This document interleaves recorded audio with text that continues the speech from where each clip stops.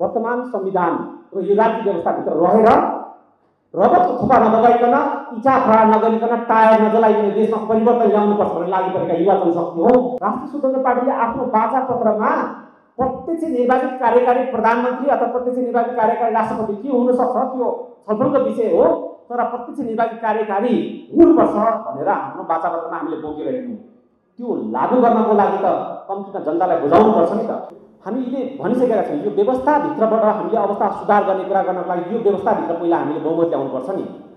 स्थानीय सरकारमा हामीले बहुमत ल्याउनुपर्छ त्यसपछि प्रदेशमा हामीले बहुमत ल्याउनुपर्छ प्रतिनिधि सभामा बहुमत ल्याउनुपर्छ राष्ट्रिय सभामा बहुमत ल्याउनुपर्छ र कति भ्रष्टाचार छ कति व्यक्ति छ यो अगण्य छ गरेर साध्य छैन। मान्छे चिन्नुपर्ने राजनीतिक दलको पछि पछि लाग्नुपर्ने नेताको पछि पछि लाग्नुपर्ने र कम्तीमा दसदेखि पन्ध्र हजार बिस हजार रुपियाँ घुस पाउनुपर्ने अवस्था सिर्जना भयो। आधी घन्टा दस पन्ध्र मिनट हुने कामलाई महिनौसम्म झुलाइदिने काम भयो। पार्टी सरकारमा गयो किन गयो कसरी गयो र के के उपलब्धि गर्यो भन्ने कुराको जो आफ्नै कथा छ आफ्नै व्यथा छ। सरकारमा गएर अरू कसैले चारवटा मन्त्रालय सम्हाल्दै गर्दाखेरि कस्तो अवस्था हुन्छ होला त्यहाँ बेसी कति हुन्छ होला भ्रष्टाचार कति हुन्छ होला त्यसलाई रोक्ने ठाउँ त रोक्ने काम त आफ्नो छँदैछ। त्यो बाहेक देशलाई अगाडि बढाउनको लागि साँच्चै मन्त्रालयमा बसेर हाम्रा साथीहरूले गरेका मन्त्री बन्न गरेका कामहरूको चर्चा हामीले कति गर्यौँ? देशलाई समृद्ध बनाउनको लागि भ्रष्टाचारको अन्त्य गर्नु छ र त्यो भ्रष्टाचार अन्त्य गर्नको लागि निलो क्रान्ति मार्फत राष्ट्रिय स्वतन्त्र पार्टीलाई अगाडि बढाउनु छ। कहिलेकाहीँ फ्रिज हुँदो रहेछ मैले म क्षमा चाहन्छु। म पार्टीका उपसभापतिज्यूलाई सम्बोधन गर्दा गर्दै मैले शब्द भुलेँ म आफैले शब्द भुलेँ म त्यसको लागि क्षमा चाहन्छु। पार्टीका उपसभापतिज्यू सहित यस हलमा उपस्थित हुनुभएका राष्ट्रिय स्वतन्त्र पार्टीका सबै नेतृत्वमा रहनुभएका नेतागणज्यूहरू यहाँहरू सम्पूर्णलाई म काठमाडौँ क्षेत्र नम्बर सातबाट निर्वाचित प्रतिनिधि सभा सदस्य राष्ट्रिय स्वतन्त्र पार्टीको केन्द्रीय सदस्य उद्योग तथा वाणिज्य विभागको संयोजक। यहाँहरूलाई यो निलो क्रान्ति मार्फत निलो रङ आफैमा शान्तिको रङ हो तर निलो रङ मार्फत त्यो शान्तिको अभियान चाहिँ क्रान्तिको अभियान बोकेर यो छातामुनि राष्ट्रिय स्वतन्त्र पार्टीको छातामुनि संलग्न भएर एकबद्ध भएर देशलाई समृद्ध विकृतिमुक्त र समृद्ध बनाउने अभियानमा जुट्नुभएका यहाँहरू सबैजनालाई म निलो क्रान्तिमय अभिवादन गर्न चाहन्छु। जय घन्टी।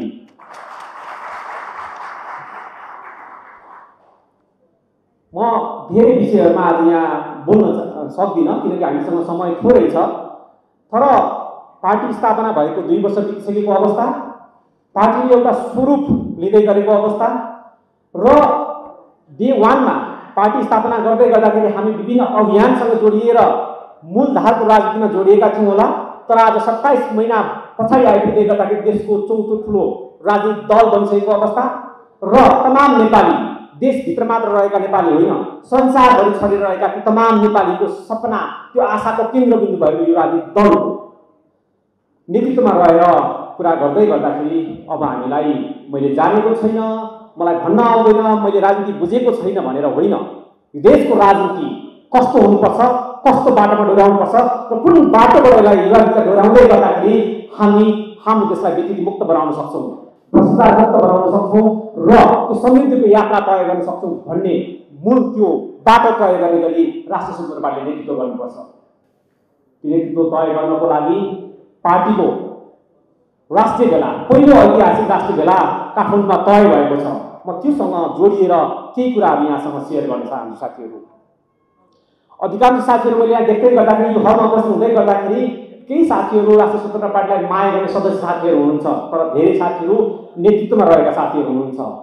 बागमती प्रदेश सभापतिज्यूले भर्खरै यहाँ भाषणमा आफ्ना धेरै महत्त्वपूर्ण कुरा राखेर गइसक्नु भएको छ र सिन्धुलीबाट नेतृत्व गरेका नेता नेतृत्व गणमा रहनुभएका साथीहरूले थुप्रै कुरा राखिसक्नु भएको छ। पार्टीका अरू महत्त्वपूर्ण विषयमा पार्टीका उपसभापतिज्यू पूर्व सहमन्त्रीज्यूले धेरै कुरा राख्नुहुन्छ। तर हामीले राजनीतिक कर्मी भएपछि राजनीति अभियान मार्फत देशलाई अगाडि बढाउनुपर्छ र राजनीतिमा भएको त्यो धुलो मैलो फोहोर धनुलाई सग्लो बनाउनुपर्छ सफा बनाउनुपर्छ भनेर उद्देश्य लिएर हिँडिसकेपछि राजनीतिक भाषा पनि बोल्न जान्नुपर्छ साथीहरू। त्यस कारण त्यो पाटोबाट म केही यो उपयोग गर्दै म केही कुराहरू चाहिँ यहाँसँग सेयर गर्न चाहन्छु।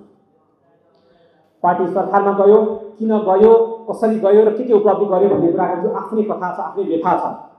तर राष्ट्रिय स्वतन्त्र पार्टी सरकारमा गएर चारवटा मन्त्रालय सम्हालिसकेपछि त्यो चारवटा मन्त्रालय सम्हालेर प्राप्त गरेको उपलब्धिलाई हामीले हाम्रो उपलब्धि भनेर हामीले त्यसलाई ग्रहण गर्न सक्यौँ सकेनौँ। र त्यो उपलब्धिलाई देशभरि जनतामा लिएर जान सक्यौँ कि सकेनौँ यो पाटोमा हामीले कति कति बुझ्यौँ कति बुझेनौँ। यस हलमा उपस्थित हुनुभएका सञ्चारकर्मी साथीहरूले जति हामीलाई साथ दिनुभयो जति हाम्रा मन्त्रीज्यूहरूले चारजना मन्त्रीज्यूहरूले चारवटा मन्त्रालय सम्हालेर देशैभरि संसारभरि चर्चा चल्दै गर्दाखेरि पच्चिसवटा मन्त्रालयमा त चारवटै मात्र मन्त्रालयको चर्चा हुँदै गर्दाखेरि सञ्चारकर्मी साथीहरूले जति साथ दिनुभयो हाम्रै पार्टीमा जोइन भएका नेतृत्वमा रहेका साथीहरूलाई पनि त्यो जानकारी भएन कि अथवा त्यसलाई जनतामा लानलाई उहाँहरू चुक्नुभयो अझ हुँदै हुनुहुन्थ्यो हाम्रो पार्टी सरकारमा किन भयो भनेर। जनताले म्यान्डेट दिएर पठाएको पार्टी र अहिलेको व्यवस्था अन्तर्गत अहिलेको सुधारिएको संसदीय व्यवस्था अन्तर्गत त्यो संसदमा पुगिसकेपछि तिनैभित्र भएका राजनीतिक दलहरूले मिलेर सरकार बनाउने प्रक्रिया हो। र अहिलेको वर्तमान अवस्थामा कुनै पनि दलसँग स्पष्ट बहुमत छैन भने दलहरू मिलेर सरकार बनाउनुपर्छ। यो प्रक्रियामा राष्ट्रिय स्वतन्त्र पार्टीको अहम भूमिका भएको हुँदाखेरि त्यही प्रक्रिया अन्तर्गत सरकारमा गयो। सरकारमा गएर अरू कसैले चारवटा मन्त्रालय सम्हाल्दै गर्दाखेरि कस्तो अवस्था हुन्थ्यो होला त्यहाँ व्यक्ति कति हुन्थ्यो होला भ्रष्टाचार कति हुन्थ्यो होला त्यसलाई रोक्ने ठाउँ त रोक्ने काम त आफ्नो छँदैछ। त्यो बाहेक देशलाई अगाडि बढाउनको लागि साँच्चै मन्त्रालयमा बसेर हाम्रा साथीहरूले गरेका मन्त्री बन्न गरेका कामहरूको चर्चा हामीले कति गर्यौँ? आम जनतामा कति पुऱ्याउँछ म सबै विषयको चर्चा गर्न चाहन्न कम्तीमा एउटा विषय श्रम मन्त्रालयमा श्रम मन्त्रीज्यू भएर सुधारिएका सिस्टममै सुधार गर्नुपर्छ भनेर गरेको एउटा कामको मात्र मैले चर्चा गर्छु। साथीले कम्तीमा आफ्नो भूगोलका आफ्नो जनतासँग ती विषयहरूसँग सेयर गर्नुहोस्। चिया डप हुँदै गर्दाखेरि हाम्रा मन्त्रीले सुधार गरेको यो सिस्टम हो। यो सिस्टमको कारणले गर्दाखेरि हाम्रा थुप्रै दाजुभाइ दिदीबहिनीहरूलाई सहयोग दिएको छ भन्ने कुरामा चर्चा गर्नुहोस्। त्यसले पनि राष्ट्रिय स्वतन्त्र पार्टीको छवि गाउँ गाउँ टोल टोलसम्म पुर्याउँदै गर्दाखेरि सकारात्मक सन्देश दिन चाहन्छ। स्वाभाविक हो। हामी सबै कुरा एकैचोटि चेन्ज गर्न सक्दैनौँ तर थोरै थोरै गरेर चेन्ज गर्ने प्रयास गऱ्यौँ भने धेरै कुरा सुधार आउँछ। कति भ्रष्टाचार छ कति व्यक्ति छ यो अगण्य छ गर्ने साध्य छैन। श्रम मन्त्रालय मार्फत देशका तमाम युवा जनशक्ति श्रम गर्नको लागि विदेशी पनि आजको बाध्यता हो। त्यो विदेशीमै गर्दाखेरि श्रम स्वीकृति नलिकन विदेशी भने देशको कानुनले चिन्दैन। र उनीहरूलाई उद्धार गर्नुपर्दै गर्दा सहयोग गर्नुपर्दै गर्दा राज्यको संयन्त्रमा राख्दै गर्दा उनीहरूलाई श्रम स्वीकृति लिएर जानुपर्छ भन्ने पद्धति देशले बनायो। तर त्यही श्रम स्वीकृति लिनको लागि तमाम नेपाली जनताले घुस पर्ने अवस्था आयो। मान्छे चिन्नुपर्ने लागि दलको पछि पछि लाग्नुपर्ने नेताको पछि पछि लाग्नुपर्ने र कम्तीमा दसदेखि पन्ध्र हजार बिस हजार रुपियाँ घुस पर्ने अवस्था सिर्जना भयो। आधी घन्टा दस पन्ध्र मिनट हुने कामलाई महिनौसम्म झुलाइदिने काम भयो। कतिलाई कारवाही गर्ने हामीले इन्डिभिजुअललाई कारवाही गर्यौँ कि भनेर मन्त्रीसँग संवाद गर्दै गर्दाखेरि होइन। सिस्टममा सुधार गर्यो भने धेरै कुरा गर्न सकिन्छ भनेर सिस्टम सुधार गरि सुधार गरिसकेपछि मन्त्रीजीको कन्टिन्यू प्रयासबाट र साथीहरूको सहयोगबाट विज्ञहरूको सहयोगबाट हामीले सिस्टममा सुधार गऱ्यौँ र एक घन्टामा श्रम स्वीकृति दिने अनलाइन प्रक्रियाबाट काम गर्नु है भनेर भनिसक्दाखेरि त्यो लागु गर्न सकिरहेछ त। सुधार गर्न प्रयास गर्दै गर्दाखेरि कति अवरोध खडा भएर आफ्नोमा छ। तर लागु गर्न सकिँदो रहेछ त्यो प्रक्रिया लागु गर्दै नेपालमा अवस्थामा भएर उनीहरूले देशबाट विदेशी नै गर्दाखेरि पाउनुपर्ने श्रम स्वीकृतिको लागि घुस पाउनुपर्ने अवस्थाबाट कम्तीमा त्यहाँबाट उद्धार गर्न सक्यो यो प्रयास गर्दै गर्दाखेरि सिस्टममा सुधार गरेको साथीहरू राष्ट्रिय स्वतन्त्र पार्टी सरकारमा नगएको भए कसले गर्न सक्थ्यो एकचोटि मनबाट जोडदार पाले कम्तीमा आफू र राजनीतिक दल र मन्त्रीज्यूलाई सम्मान प्रकट गरेर यी यस्ता कैयौँ कुराहरू छन् जो राष्ट्रिय स्वतन्त्र पार्टी सरकारमा गएर गरेको छ। तर तमाम तपाईँहरूका सपनाहरू धेरै छन् सबै पुरा गर्न सकेको सत्य हो र यस्ता उपलब्धिहरूलाई हामीले जनता माझ पुर्याउन सक्यौँ भने धेरै कुरामा सकारात्मक चिन्ह ल्याउन सकिन्छ। यो चाहिँ मैले यहाँलाई अनुरोध गरेको कुरा हो। र अर्को महत्त्वपूर्ण विषय भनेको चाहिँ हामी वर्तमान संविधान र यो राज्य व्यवस्थाभित्र रहेर रगतको थुपा नलगाइकन इच्छा खडा नगरिकन टायर नजलाइकन देशमा परिवर्तन ल्याउनुपर्छ भनेर लागि परेका युवा जनशक्ति हो। र यो यो जनशक्तिले यो पुस्ताले राजनीतिलाई सहुलो बनाएर यही पद्धति मार्फत यही संविधान मार्फत यही व्यवस्था मार्फत हामी समृद्धिको खाका गर्छौँ भनेर भन्दै गर्दाखेरि कति साथीहरूले यही व्यवस्थाको खारेजीको कुरा गर्नुहुन्छ यही प्रक्रियामा भाग नलिने कुरा गर्नुहुन्छ यही प्रक्रियामा जानु हुँदैन भन्ने कुरा पनि गर्नुहुन्छ। मैले अघि नै सुरुमा भनेको राजनीतिक प्राणी भइसकेपछि राजनीतिक प्रक्रियाबाट सोच्नुपर्छ है साथीहरू भनेर मैले यहाँलाई मैले बुझाउन खोजेको कुरा के हो भने आज हामी प्रतिनिधि सभामा एक्काइसजना सांसद लिएर उपस्थित भएका छौँ। मानिलिउँ प्रतिनिधि सभामा हामीले दुई सय पचहत्तरजना नै सांसद लिएर उपस्थित भयौँ भने हामीसँग यो देशको सबै शक्ति हाम्रो हातमा आउँछ त? पक्कै आउँदैन। त्यहाँ मतभारको गणना हुँदै गर्दाखेरि प्रतिनिधि सभा राष्ट्रिय सभा प्रदेश सभा र स्थानीय तहको सरकार छ हामीसँग। राष्ट्रिय स्वतन्त्र पार्टीले आफ्नो बाचा पत्रमा प्रत्यक्ष निर्वाचित कार्यकारी प्रधानमन्त्री अथवा प्रत्यक्ष निर्वाचित कार्यकारी राष्ट्रपति के हुनसक्छ त्यो छलफलको विषय हो तर प्रत्यक्ष निर्वाचित कार्यकारी हुनुपर्छ भनेर हाम्रो वाचापत्रमा हामीले बोकिरहेको त्यो लागू गर्नको लागि त कम्तीमा जनतालाई बुझाउनुपर्छ नि त।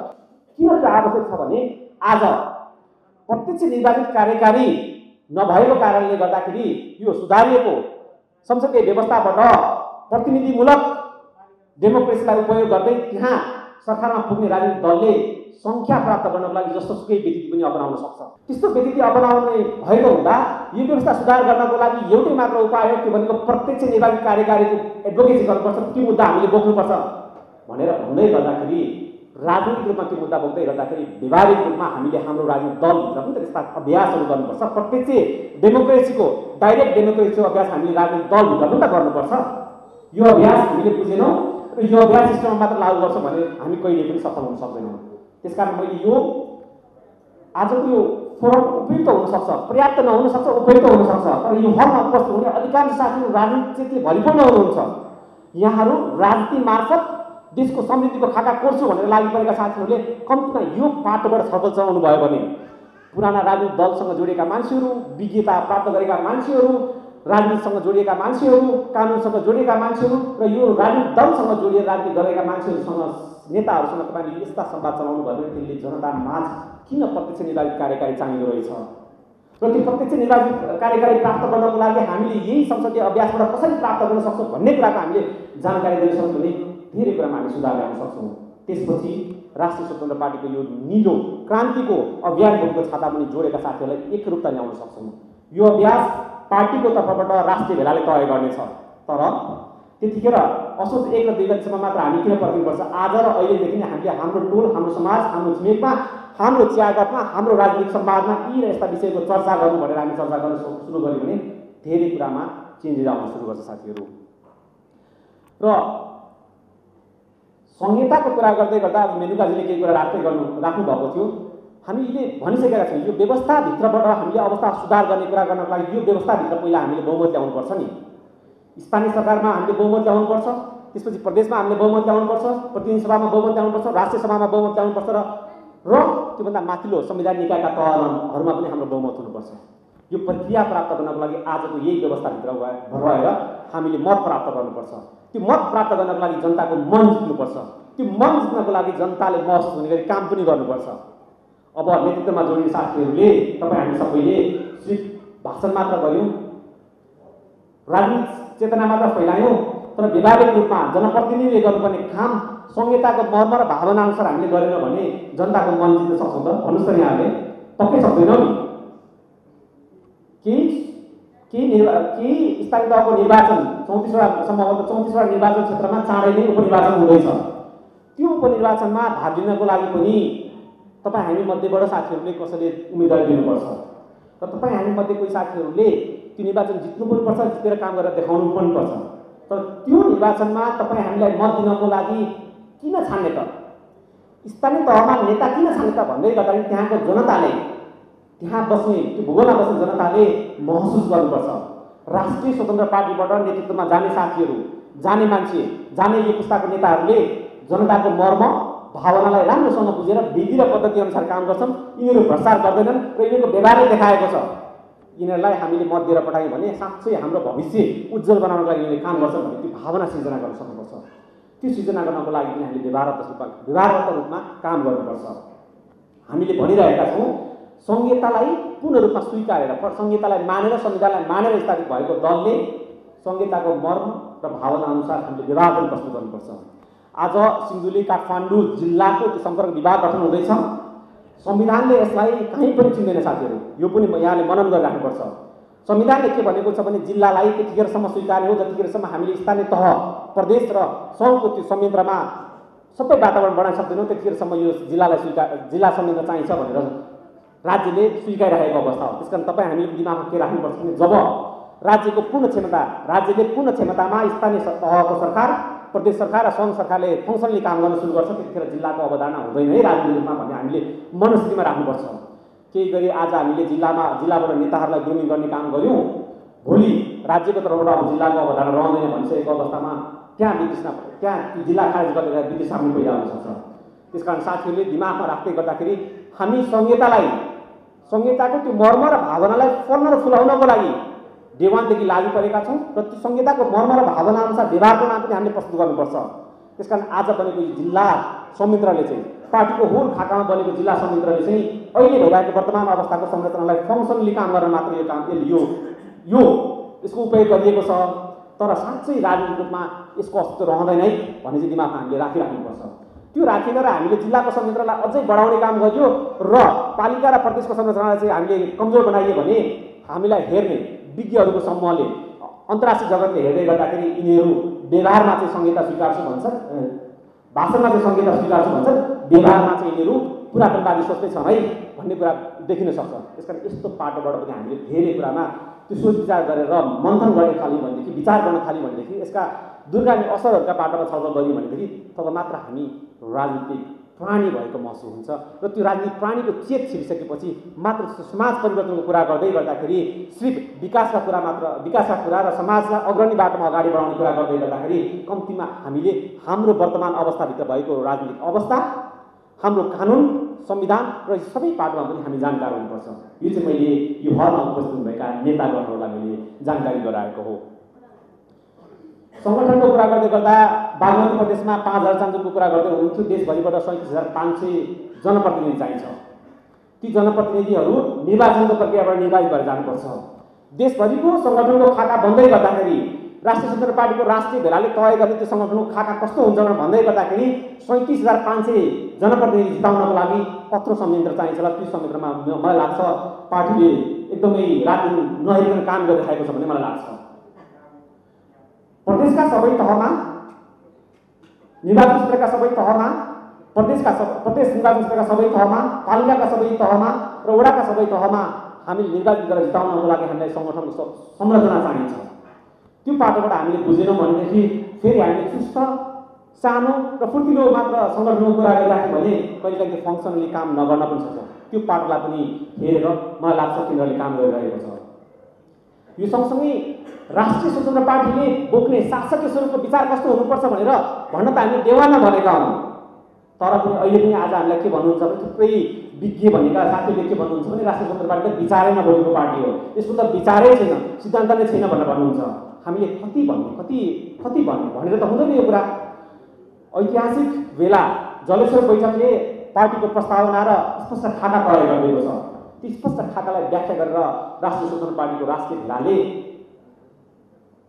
देशको शासकीय स्वरूप हामीले बहुमत पाउँदै गर्दाखेरि हामीले दुई तिहाई पाउँदै गर्दाखेरि देशको शासकीय स्वरूप कस्तो हुन्छ है भनेर प्रश्नसँग हामी राख्छौँ। र राष्ट्रिय स्वतन्त्र पार्टीले बोक्ने विचार अधिकतम अहिलेसम्मको प्रयासबाट हेर्दै गर्दाखेरि हामीले डेमोक्रेटिक धारालाई बेसी अँगालेको देखिन्छ। तर निजी क्षेत्रसँग सहकार्य गरेर समाजवाद हुनु भनेको संविधानका विचारहरूलाई पनि अवलम्बन गर्नुपर्ने हुन्छ। राज्यले निर्वाह गर्नुपर्ने अनिवार्य दायित्वहरू शिक्षा स्वास्थ्य र सुरक्षाको पाटोमा राज्यले अनिवार्य रूपमा समाजको सबै तह तब्कालाई हेरिनुपर्छ। बाँकी निजी क्षेत्रलाई चलायमान बनाएर पुँजी बना पुँजीको विकास गर्नुपर्छ भनेर राष्ट्रिय सन्दर्भले बारम्बार भनिरहेको छ। यी कुराहरूलाई व्याख्या गरेर हामीले स्पष्ट खाका तय गर्छौँ। राष्ट्रिय स्वतन्त्र पार्टीको राष्ट्रिय भेलाले स्पष्ट खाका तयार पारिसकेपछि त्यो आगामी दुई हजार बयासी सालको वैशाखको पहिलो दोस्रो हप्तामा तय तय गरिएको अधिवेशनमा आइपुग्दै गर्दाखेरि हामीले हाम्रो सङ्गठनको संरचना पार्टीका स्पष्ट विचारहरू र पार्टीभित्र रहेर गर्नुपर्ने कामहरूमा हामी र हाम्रो नेतृत्वसँग जोडेका सबै नेताहरूलाई हामीले देखाइसक्नुपर्छ खारिसक्नुपर्छ।